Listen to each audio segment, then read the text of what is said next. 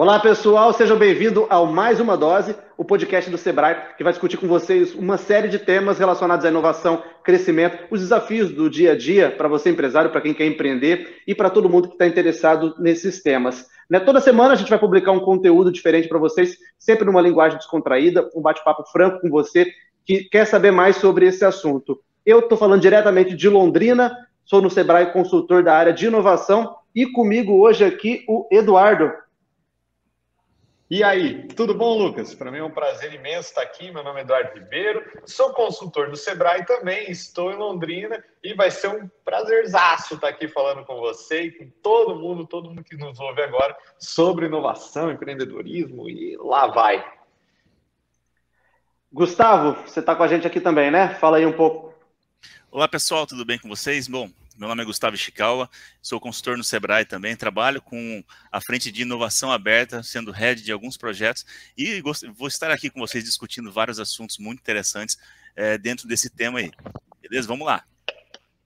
E diretamente de Curitiba, a dona do podcast, Marceleza, com certeza. Fala aí, Marcela. E aí, galera, tudo bom? Meu nome é Marcela, sou consultora do Sebrae Paraná, fico no escritório de Curitiba e sou responsável pelos projetos especiais aqui do Sebrae, que envolvem inovação aberta, que envolvem impacto social e ambiental também, e consultora de inovação. E para fechar esse time, vou falar com ele, o Tiago sem H, Tiago Cunha, direto de Apucarana, que é terra que venta muito. Fala com a gente aí, Tiago. Valeu, galera. Sejam Bem-vindos aí ao nosso podcast. Eu sou o Thiago Cunha, consultor do Sebrae Paraná. Como disse o Lucas, né, lotado aqui no escritório de Apucarana, né, responsável pelo escritório aqui pelo Vale do Ivaí. Vai ser muito legal a gente poder ter esse momento aí para falar de gestão, inovação e outros temas afins. E lembrando que além de conversar um pouco sobre esses temas, aqui também tem espaço para críticas, viu, Lucas? Pode fazer a crítica aqui, tem espaço para crítica.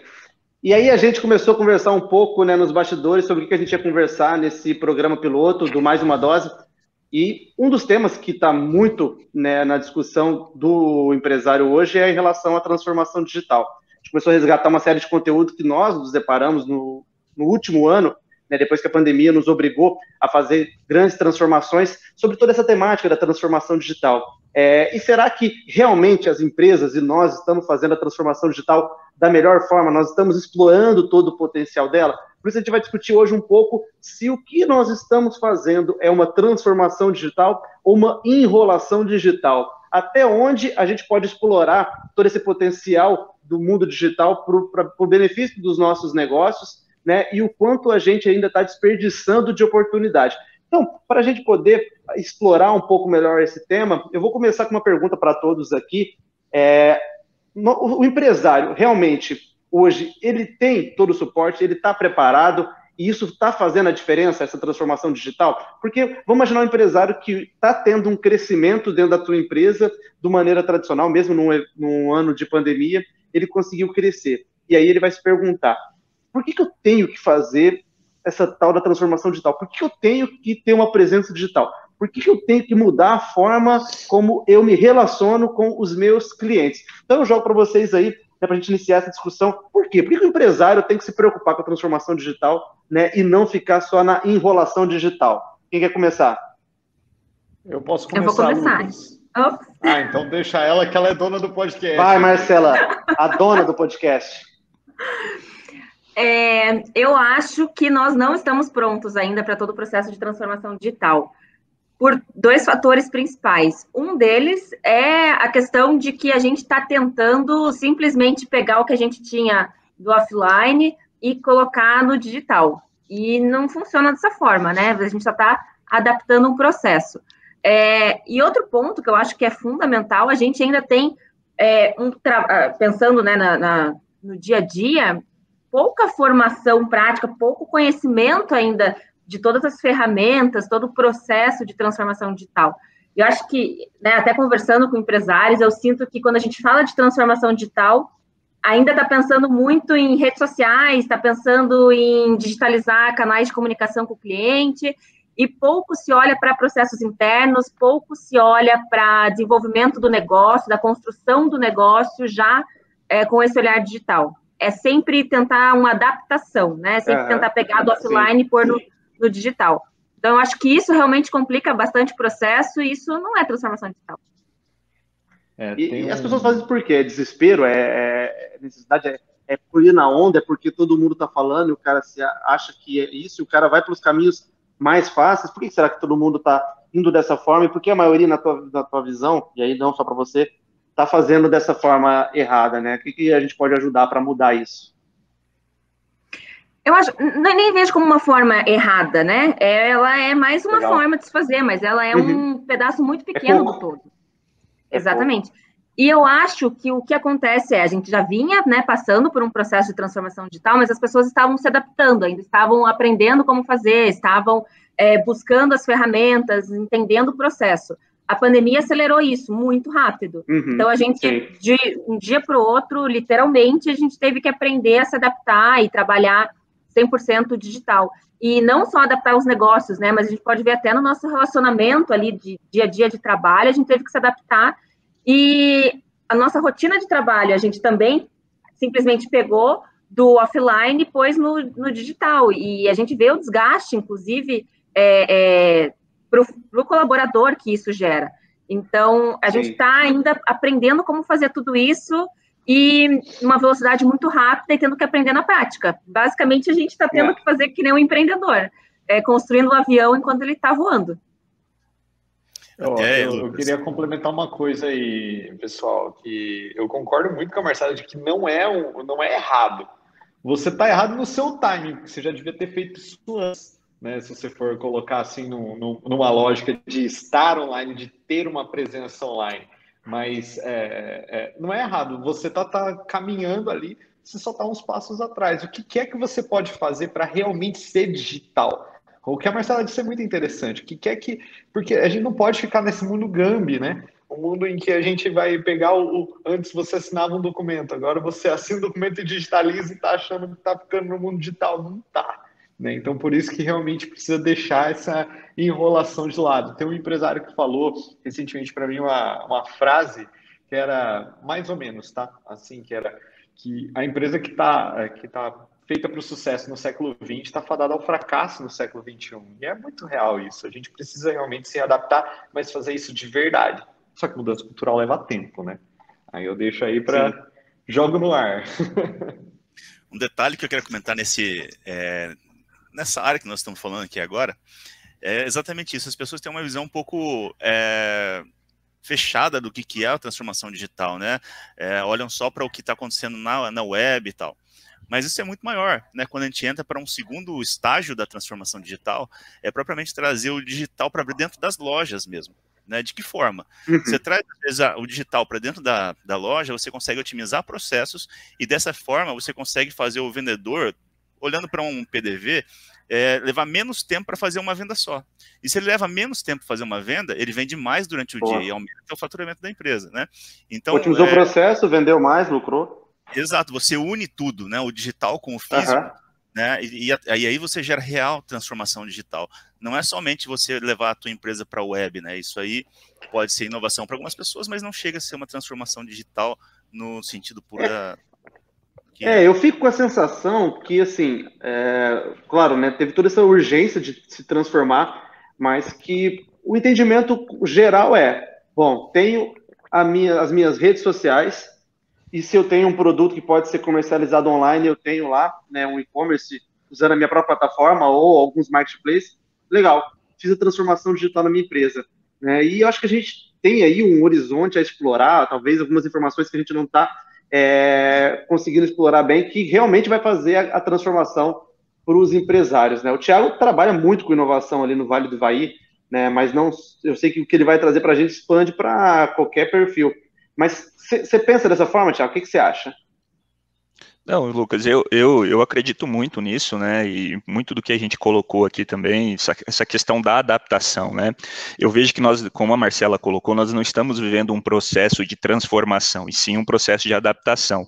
Concordo muito com ela quando ela traz esse ponto, né? Principalmente por quê? Porque o processo de transformação digital, ele tem que ser encarado pelas empresas como um processo estratégico, né, de desenvolvimento, um processo realmente de reflexão, né, a gente precisa entender uhum. qual é o momento e qual é a melhor, é, qual é a melhor alternativa naquele momento e que, que a gente está vivendo, né, para executar as melhores é, aplicações de ferramentas, né, de, a melhor forma de realmente estruturar esse processo adaptativo, vamos dizer assim. Mas outro ponto importante é entender que a transformação digital ela não pode ser feita para a empresa a transformação digital ela tem que ser feita para o cliente. Então a empresa ela Boa. precisa pensar no cliente, porque se ela não pensa no cliente, o processo de transformação digital dela vai ficar obsoleto.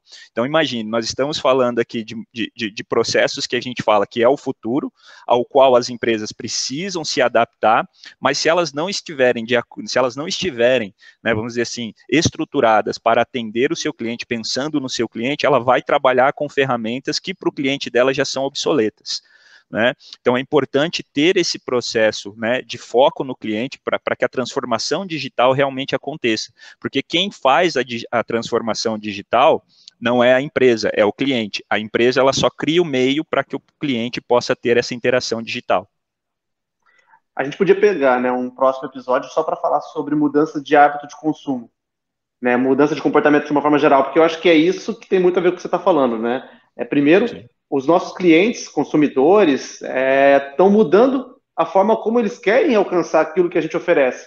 Né? E a partir daí, sim, eu vou fazer as grandes mudanças que eu estou propondo, né? ou que o mercado está pedindo. É, eu tenho um, uma empresa, né, que é um, um, exemplo que eu sempre uso, que é o nome dela é Trovet, é, se eu não me engano. É uma empresa que trabalha com alfaiataria customizada. Você tem uma plataforma deles que você escaneia o teu corpo e aí ele tira as medidas tão detalhadas que a, a, roupa que vai ser costurada, ela tem exato formato para o teu corpo, né? Porque PMG hoje já não atende com, com qualidade, né? Então essa empresa usou de tecnologias que permite que qualquer celular escaneie né, uma estrutura corporal e a partir daquilo ali, com outros detalhamentos, essa empresa consegue oferecer uma peça customizada, né?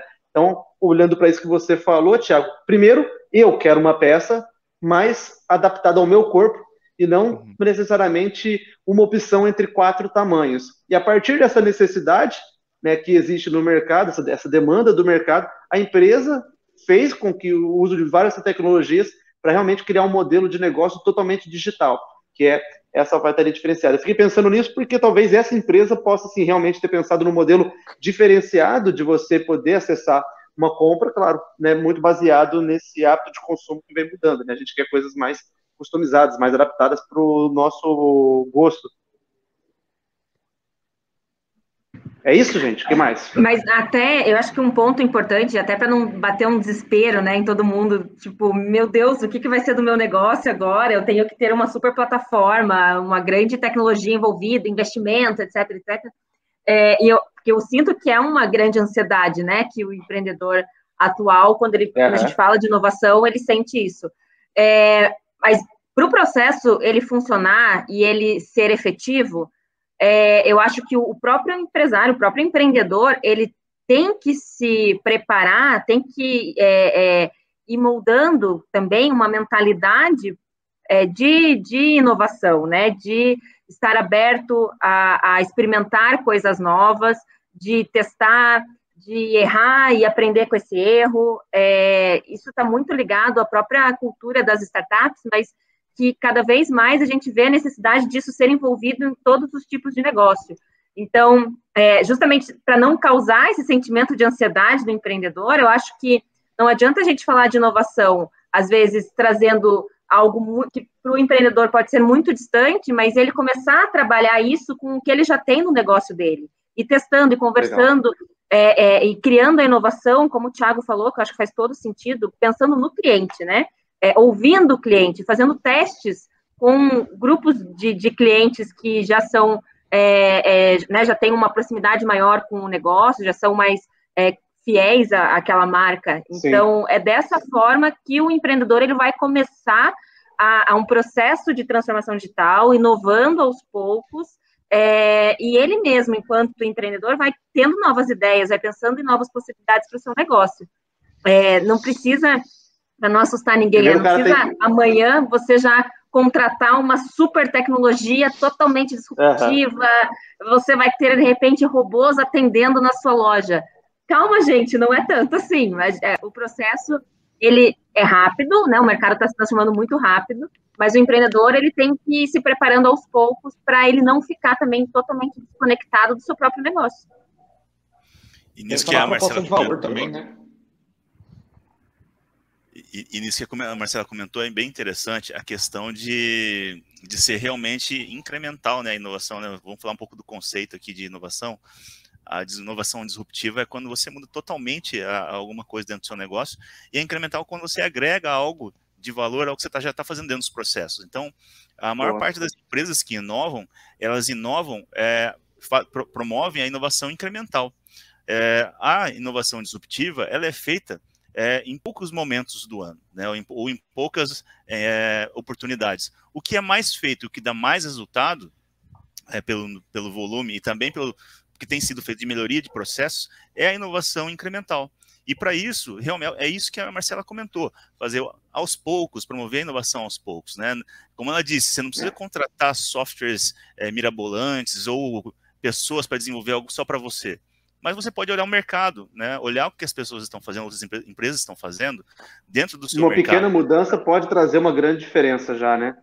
Exato. E assim, não procurar só no seu mercado, procura no, em, em, outros nichos, né? Porque você pode adaptar algo de outro é. nicho para o seu nicho. Então tem várias oportunidades que você pode trazer para o seu negócio de uma forma barata, né? E que promova uma uhum. grande mudança. Muito legal.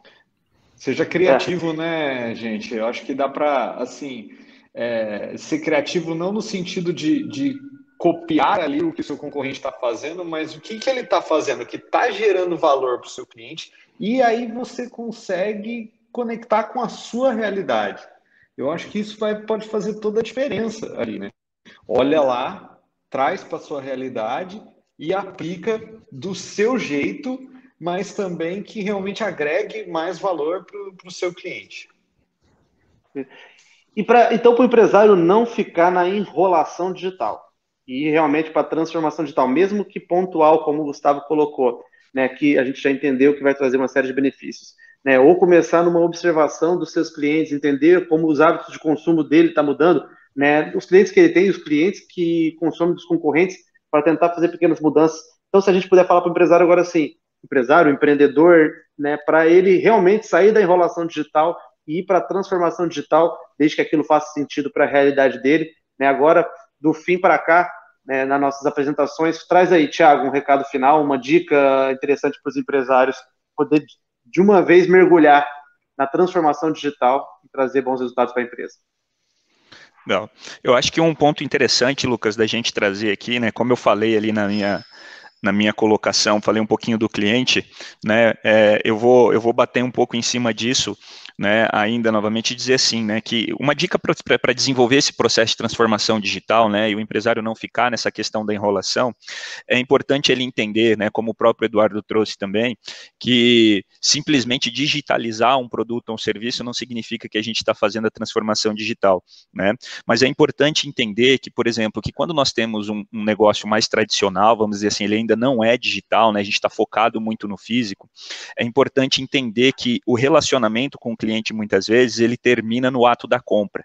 Quando nós estamos falando de um processo de transformação digital, quando a gente muda essa questão né, de digitalização dos nossos produtos e serviços, é importante a gente entender que a lógica aqui nesse ponto muda, né? Então, o, o, o empresário, né, o empreendedor que está indo para esse processo de transformação digital, ele precisa olhar que a partir do momento da compra que efetivamente começa o relacionamento com o cliente.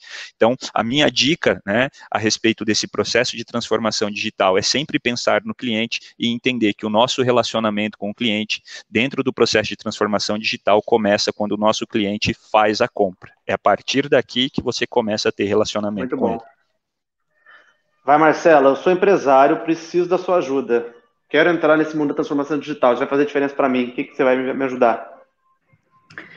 Bom, eu bato muito na tecla de que a inovação ela precisa começar com a pessoa. É muito um processo cultural Legal. de transformação de mentalidade. É, eu insisto muito nisso porque eu não acredito que a inovação ela é só tecnologia e, e você só trazer um software diferenciado, um produto, né, uma tecnologia diferenciada, se você não tiver a cultura dentro da, do teu negócio para utilizar aquilo da melhor forma possível, ela vai ser, vai, vai morrer rapidamente. Então, eu sou uma pessoa que insisto muito nisso. Pro, acho que o, empresário, o empreendedor, ele tem que buscar é, é, ler sobre diferentes temas, saber o que está acontecendo no mundo, é, o que o Gustavo trouxe de conhecer o que outros negócios estão fazendo e buscar se adap é, né, adaptar para o seu próprio negócio. Eu acho isso muito importante, porque você traz né, diferentes perspectivas. Então, é, é, a gente falou de criatividade, e, e, eu ouço muito isso, as pessoas falam, mas eu não sou criativo, eu não sei nem por onde começar. E criatividade, assim como qualquer outra habilidade, ela precisa ser treinada, ela precisa ser aperfeiçoada. Então, é, a gente se torna criativo buscando outras fontes, conhecendo outros nichos de mercado, é, e, e, não só negócios. Acho que a gente pode buscar inspiração em diversas outras frentes, e a, né, é, isso seja através. Eu, particularmente, sou uma pessoa que busco muito ideias em outras frentes, seja em arte, seja em cinema, seja em livros. É, é, leio sobre vários assuntos diferentes, porque eu acho que isso traz várias ideias, vários insights que podem ajudar é, e, e nos tornar mais criativos. Então, a criatividade ela precisa ser, ser, treinada, assim como qualquer outra habilidade. Então, isso é fundamental para a é inovação.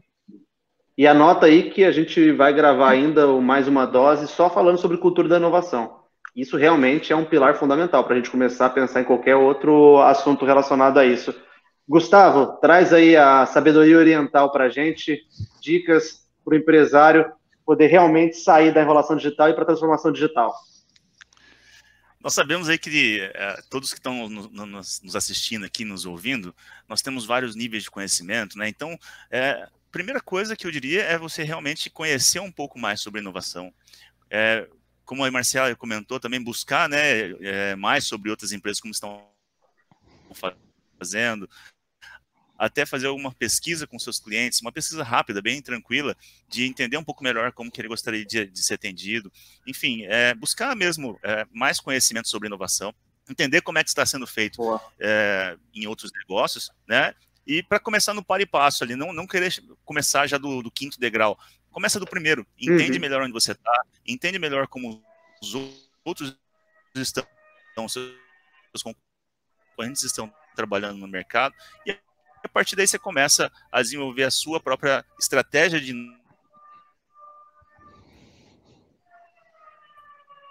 Tá cortando um pouco o teu áudio, Gustavo. Pausa aí. Du, fala você, depois a gente vai voltar para o Gustavo. Fala aí, Du. É, beleza. Lucas, eu diria que a primeira coisa, empresário, né, você que tem um empreendimento, não acho que você colocar o dinheiro ali sem, tipo, ah, colocou dinheiro na caixinha ali, vai milagrosamente as coisas acontecerem. Não vai. Então, esse ponto da cultura que a Marcela disse é fundamental. Espero ansiosamente o próximo episódio aí para ser muito bacana nesse ponto. Né? Realmente, sabe aquela inspiração que você tinha quando você começou o seu negócio? Aquela empolgação de criar aquela coisa nova, tudo mais. Você não sabia nem como é que você fazia a primeira nota fiscal, isso daí. Cara, com você que eu tô falando, que tem esse perfil, resgata isso daí de novo. E pensa, cara, como é que você realmente pode agregar mais valor para o seu cliente nesse mundo digital? Novas frentes, pensando no cliente, como o Thiago disse, que é fenomenal isso. E como é que você faz isso?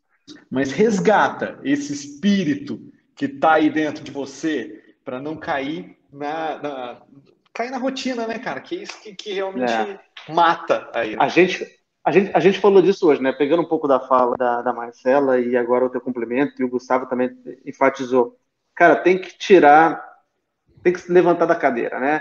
É, a gente brincou hoje, né? É muito mais fácil você pegar o teu achocolatado, botar o teu moletom e entrar debaixo da coberta e ligar o teu Netflix, né? É, é bem mais fácil, é bem mais gostoso.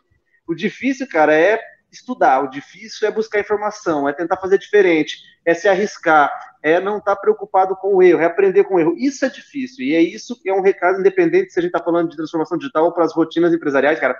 Nós temos que nos esforçar. E os empresários que mais têm sucesso é, são aqueles que mais se dedicam. Gustavo, acho que a tua conexão melhorou. Fala aí para a gente um pouco, conclui teu recado, né, para ajudar os empresários aí a sair da enrolação digital. Até onde que, que vocês ouviram, Lucas? Só para ter uma Não, ideia. Não, bastante, só, só o finalzinho, assim, só o teu fechamento estava ah. picotando um pouco.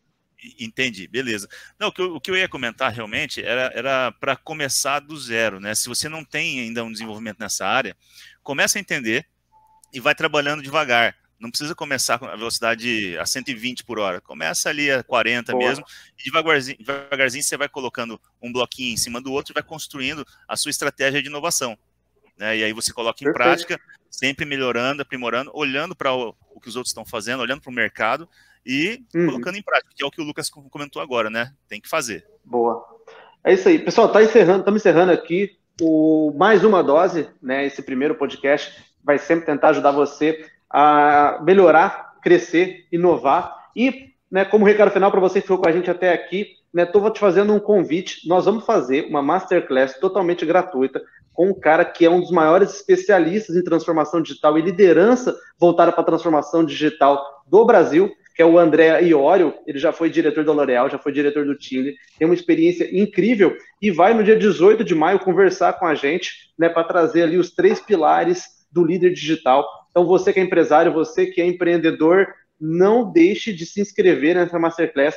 Vai ter aqui nessa publicação todo o link e mais informações. Então, se inscreve lá, que no dia 18 de maio, às 18 horas, o André Iorio vai falar com a gente muito sobre transformação digital e nada de enrolação digital. Vai realmente fazer a diferença para você.